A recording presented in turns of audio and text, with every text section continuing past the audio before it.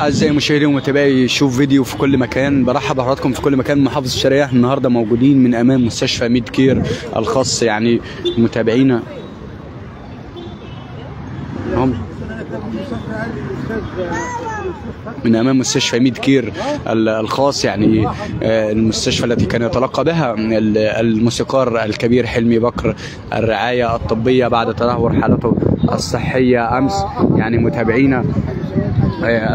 الموسيقار الكبير حلمي بكر كانت قد تدهورت حالته الصحية آه، يعني مساء أمس ويعني أرسلت له وزارة الصحة آه، يعني سيارة مجهزة بجميع الأجهزة الطبية اللازمة لحالته يعني آه، لكنه رفض يعني المسؤول لل- ل- لتعليمات الأطباء ويعني رفض تلقي العلاج ورفض تناول الطعام ورفض أيضا ال- أن ينتقل إلى المستشفى آه، بعدها يعني بساعات قليلة آه، يعني دخل في غيبوبة تدهورت حالته الصحية آه، يعني آه، ب- ب- بدرجة كبيرة ويعني دخل في غيبوبة وتم نقله إلى مستشفى ميد كير.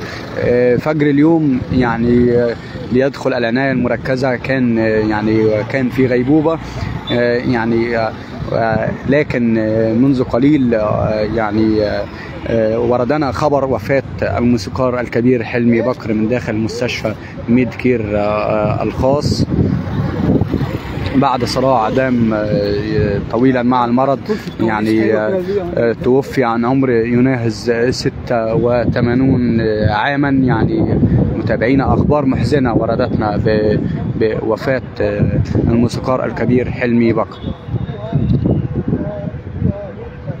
متابعينا يعني خبر احزن جميع محبي ويعني آه، محبين ومعجبين الموسيقار الكبير حلمي بكر الذي توفي عن عمر يناهز 86 عاما بعد صراع آه، دام آه، طويلا مع المرض. يعني متابعينا كانت قد انتشرت الأيام الماضية خلافات بين يعني زوجة الموسيقار حلمي بكر وبين بين الموسيقار بين زوجة الموسيقار حلمي بكر وبين نجله هشام بكر الذي اتهم آه، يعني زوجة والده باختطافه ويعني آه، آه، احتجازه في آه، شقة داخل آه، يعني شقة في الأرياف محافظة آه، الشرقية.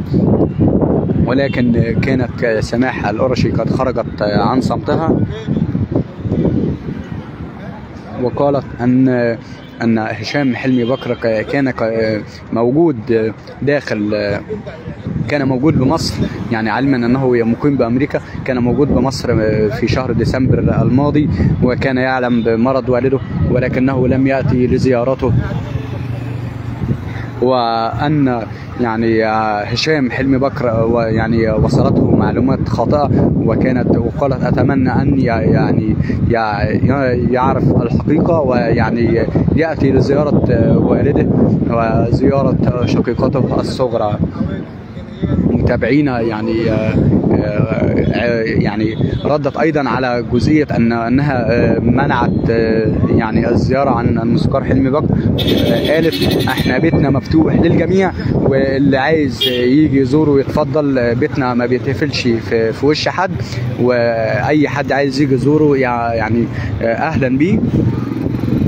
وقالت عن عن قصة إن هي إنها اتقال إن أو يعني ولا ابنه ابن الموسيقار حلمي بكر قال إن زوجته يعني رافضة توديه المستشفى قالت إن الفنان الموسيقار حلمي بكر را- رافض يعني يدخل المستشفى واللي بيحبه وفعلا يقدر يأثر عليه يتفضل يجي يوديه المستشفى قالت أنا مش قادرة أوديه المستشفى هو بيرفض وبيتضايق ويزعق كل ما حد يقول له تعالى نوديك المستشفى. وقال أنا يعني حابب الشرقية وعايز أفضل في الشرقية ومش همشي من هنا. وقالت إن إخواته آه، آه، جم زاروه الأسبوع اللي فات وهو قال لهم أنا مش ماشي من من هنا ومش جاي معاكم وأنا مرتاح هنا وما رضيش يروح. يرجع ل- مع إخواته. يعني متابعينا آه، كان آه، يعني الفترة اللي فاتت انتشرت الخلافات وصدرت مواقع التواصل الاجتماعي ويعني وال آه، الجرائد ووسائل الإعلام آه، واليوم آه، يعني يصلنا خبر وفاة آه، ال- الموسيقار حلمي بكر الخبر المحزن الذي أحزن جميع محبيه ومعجبيه يعني الموسيقار حلمي بكر كان قيمة وقامة كان من أكبر ال- يعني ال- ال- الملحنين في في مصر والعالم. قد أعلنت منذ قليل نقابة الموسيقيين. على حسابها الرسمي وفاة الموسيقار حلمي بكر. ويعني آه، نعت الموسيقار حلمي بكر وأيضا نعت الفنانة نادية مصطفى آه، خبر وفاة آه، الموسيقار حلمي بكر. ويعني أعلنت النقابة أنها سترسل وفد من النقابة. سترسل وفد من نقابة الموسيقيين لاستلام جثمان الموسيقار الذي رحل عن عالمنا منذ قليل آه، ليترك يعني آه، حزن كبير داخل قلوب قلوب محبيه ومعجبيه. أنها س- يعني ستصل بعد قليل سيصل آه، وفد من نقابة الموسيقيين ليستلم آه، الجثمان ليتم إرساله إلى مسواه الأخير. وأيضا آه، يعني آه، وردنا وردتنا أخبار أن هشام حلمي بكر في طريقه إلى ال- آه، القاهرة آه، من أجل استلام آه، جثمان والده.